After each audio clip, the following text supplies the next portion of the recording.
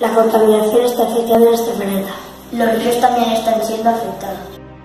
Los seres humanos tiramos a los ríos basuras y productos químicos que contaminan.